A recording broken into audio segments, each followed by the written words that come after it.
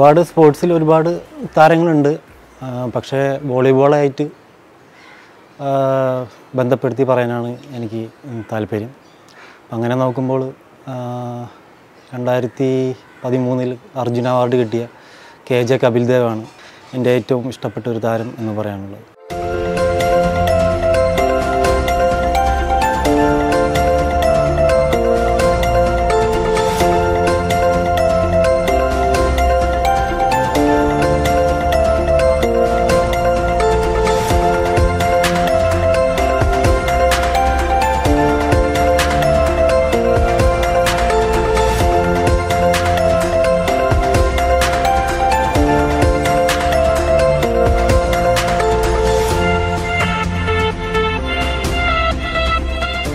ഞാൻ അദ്ദേഹത്തിന്റെ കൂടെ രണ്ടായിരത്തി പതിനൊന്ന് ജാർഖണ്ഡിൽ നാഷണൽ ഗെയിംസും പിന്നെ രണ്ടായിരത്തി പതിനൊന്ന് പതിനഞ്ചിൽ കേരളത്തിൽ നാഷണൽ ഗെയിംസ് മാത്രമാണ് കളിച്ചത്. പിന്നെ ഞാൻ അദ്ദേഹത്തിന് ഓപ്പോസിറ്റാണ് കളിച്ചത്. അദ്ദേഹം ഇന്ത്യൻ റെയിൽവേക്ക് കളിക്കും. ഞാൻ രണ്ടായിരത്തി എട്ട് മുതൽ രണ്ടായിരത്തി പതിനാറ് വരെ കേരളത്തിന് വേണ്ടി കളിക്കുമ്പോൾ അദ്ദേഹം ഇന്ത്യൻ റെയിൽവേക്കാണ് കളിക്കുന്നത്. പിന്നെ ദുബായിലും ദുബായ് എൻ എം സി ഹോസ്പിറ്റലിലും ഖത്തറിലും അബുദാബിയിലൊക്കെയാണ് ഞാൻ അദ്ദേഹത്തിന്റെ കൂടെ കളിച്ചത്.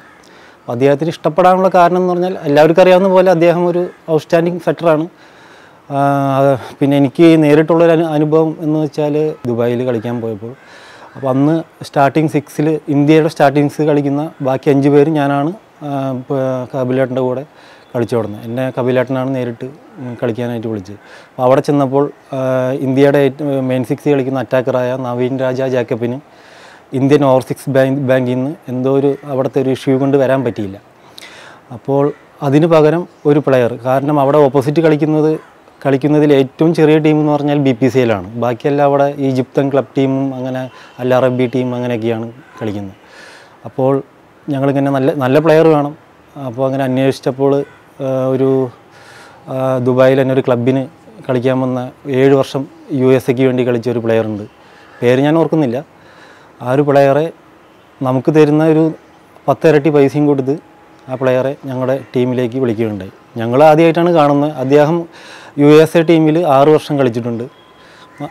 ആ ഒരു പ്ലെയറാണ് പക്ഷേ നല്ല ഗെയിമാണ് കളിക്കും മുമ്പ് നേരെ വരുന്ന പ്രാക്ടീസ് ചെയ്യാനോ ഒന്നിനും വന്നില്ല. ഡയറക്റ്റ് കളിക്കാണ് വന്നത്. അപ്പോൾ ഈ കപിൽ ദേവ് അദ്ദേ- അദ്ദേഹമായിട്ട് ഇങ്ങനെ കളിയുടെ കാര്യങ്ങളൊക്കെ സംസാരിക്കുന്നതും കാര്യങ്ങളുണ്ടായിരുന്നു അപ്പോൾ അദ്ദേഹം അറ്റാക്ക് ചെയ്യുന്ന ബോൾ ബോളുകൾ എന്ന് പറഞ്ഞു കഴിഞ്ഞാൽ വേവ് വേവ് ബോൾ എന്ന് പറഞ്ഞു കഴിഞ്ഞാൽ വളരെ ഹൈറ്റ് കുറഞ്ഞ ബോളും അവിടുത്തെ അങ്ങ അങ്ങനത്തെയാണ് ആ ഒരു യു എസ് എയിൽ അങ്ങനെയാണ്. അതേപോലെ തന്നെ ഫോറിൽ പുഷ്പാസും അങ്ങനെയൊക്കെയാണ്. അപ്പോൾ ആ ഒരു ആ സംസാരത്തിൽ പിന്നെ ഗെയിം സ്റ്റാർട്ട് ചെയ്തപ്പോൾ ഒരുപാട് വർഷം കൂടെ കളിച്ച ഒരു പ്ലെയറെ കൂടെയാണ് കപിൽ ദേവ് കളിക്കുന്ന ആ ഒരു പെർഫെക്ഷനായിരുന്നു സെറ്റിങ്ങിൽ അതായത് ആരും പറയത്തില്ല ഇവരൊരുമിച്ച് കളിക്കുന്ന പ്ലെയേഴ്സാണെന്നുള്ളൊരു ഇതായിരുന്നു. അങ്ങനെ അതും എന്റെ ഒരു അനുഭവത്തിൽ പുള്ളിയോട് ഏറ്റവും കൂടുതൽ ഇഷ്ടം. പിന്നെ എനിക്കും പേഴ്സണലായിട്ട് ഏറ്റവും കൂടുതൽ കൂടുതൽ കളിക്കാൻ കംഫർട്ടായിട്ടുള്ള പുള്ളിയാണ്. പ്രത്യേകിച്ച് ഇതാണ് ഈ ഗൾഫിൽ ഈ ഒരു അനുഭവം. കാരണം അറിയാത്തൊരു പ്ലെയറുമായിട്ട് അതൊരു ഫോറിൻ പ്ലെയറായിട്ട് അത്രയും ഒരു നല്ലൊരു കോമ്പിനേഷൻ സെറ്റ് ചെയ്യാൻ പുള്ളിയെ പോലുള്ള സെറ്ററൊക്കെ പറ്റൂ.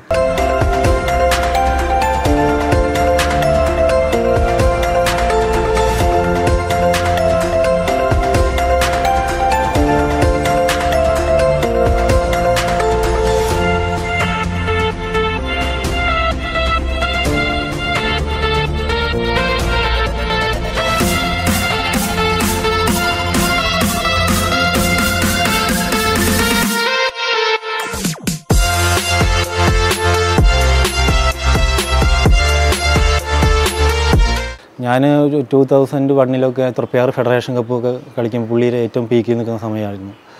പുള്ളിയുടെ ഒരുപാട് മാച്ചസ് ഞാൻ കണ്ടിട്ടുണ്ട്. പുള്ളി ഏകദേശം പതിനഞ്ച് വർഷമോ പതിനാല് വർഷം ഇന്ത്യൻ ടീമിൽ സ്റ്റാർട്ടിങ് കളിച്ചിട്ടുണ്ട്. പതിനാറ് പതിനേഴ് വർഷം ഇന്ത്യ റെയിൽവേക്കും കളിച്ചിട്ടുണ്ട്. അപ്പോൾ ഇന്ത്യ റെയിൽവേ രണ്ടോ മൂന്നോ വർഷം ചാമ്പ്യന്മാരായ ആയതിൽ മുഖ്യ പങ്ക് ഈ കപിൽ ദേവിന് തന്നെയാണ്. അതായത് അത്രയും ഇൻഡിവിജ്വലായി പ്ലെയേഴ്സ് നോക്കുമ്പോൾ കേരളത്തിന്റെ അത്രയും ഒരു പകുതിയോളം ഇൻഡിവിജ്വൽ കപ്പാസിറ്റിയുള്ള പ്ലെയേഴ്സൊന്നും റെയിൽവേയിലില്ല പക്ഷേ കപിൽ ദേവിന്റെ ആ ഒരു ഒറ്റ മികവ് കൊണ്ടാണ് ആ സെറ്റിങ്ങിലുള്ള മികവ് കൊണ്ടാണ് അവർ റെയിൽവേ രണ്ടും രണ്ട് മൂന്ന് ചാമ്പ്യൻഷിപ്പുകളെല്ലാം വിൻ ചെയ്തത്. നാഷണൽസ്